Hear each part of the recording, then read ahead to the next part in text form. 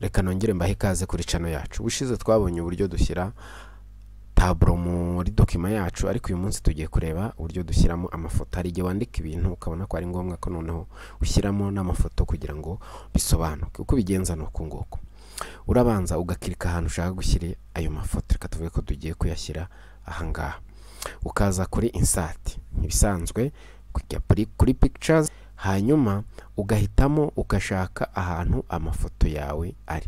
Ni niba uyafite kuri desktop niba uyafite muri downloads niba uyafite muri pictures niba uyafite aho ari ni ho uyashakira. Ayanjye ari hano kuri flash disk yanjye sibyo? Ukaza ugahitamo ifoto ushaka ukayikirikaho ukajya kuri insati ngira ngo urabona ko ifoto yacu yamaze kujyamo ni ukuvuga ngo uba ushobora kuyigabanyiriza ubunini uko ingana ibyo byose kugira ngo ikwiremo neza. Uraza hano. Kuri ku nguni iyi cyangwa se iyi cyangwa se hehe mu nguni hakazaho kari agacumu kameze kuriya ugakanda left click hanyuma ukagira iki? Ukayigabanya. Ngira ngo urayibona ko igenda igabanyuka. Bitewe n'uko ndi kugenda mbikora. Kabikora gutya ngira ko aka kantu kagiye kaba kagabanuka ukuntu yesi ubu uku niko tugenda tugabanya ifoto cyangwa se ukabara mu mpande cyangwa se niba ushaka ko iba ndende ukajya gutya umanura gutya.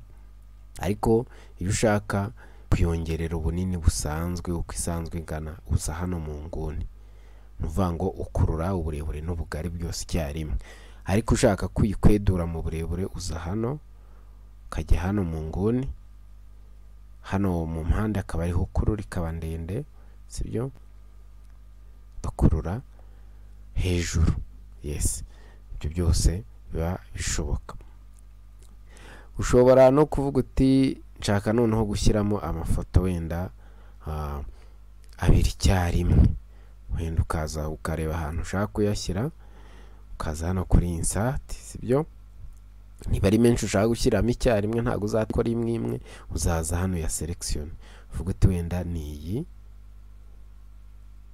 ni iyi. Uya selekisiyoni uko ari abiri. Hanyuma ujye kuri insati. Ngira ngo urabona ko yahise ya mafoto yacu ahise azamo yose uko ari abiri akurikiranye. Ubwo ikiba gisigaye ni ukugira iki?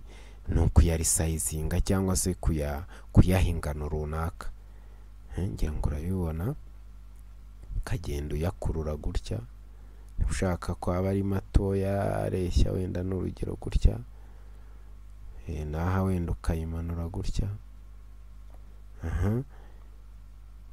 Yesi naha wenda ukabigira gutya. Kugira ngo ya mafoto yacu urabona ko yagiyemo. Ikiba gisigaye ni ukuyahindurira dizayini ushobora gushaka kuyimura uraza ukayikirikaho gutya ukajya kuri rayiti kati nshaka kuyikatinga wenda nyishyire hano hafi y'iyi. Ugashyira aho ushaka kuyishyira hanyuma ukayipesitinga urabona ko yahise. Izamuka avuga uti wenda iyi ngiyi iracyari nini reka nyigabanyire ntoya. Ngire ntoya kaza gutya nk'uko twabibonye. Kayigabanya kareshya ni uko ubishaka ngira ngo urabona ko hano yaje mu n'iyi na yo rero. Reka wenda nyizamureho gatoya. Ikasitinge wenda. Uti reka nyishyire hano hejuru. Hanyuma uyipesitingemo hariya. Urabona ko yajemo. Ushaka wanazegeranya ukavuga uti hano reka ninsatingemo indi hano yegerane n'iyi wenda ni urugero. Hano ukaza